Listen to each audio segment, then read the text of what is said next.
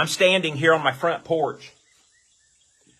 This porch kind of became famous through the governor's run. It became famous when I was speaking on nonsense.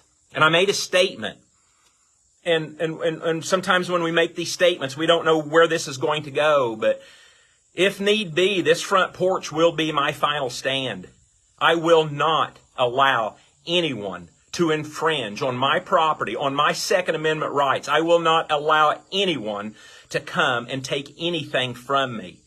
And if need be, as I quoted before, I will die on this front porch before I give up any of my Second Amendment freedoms.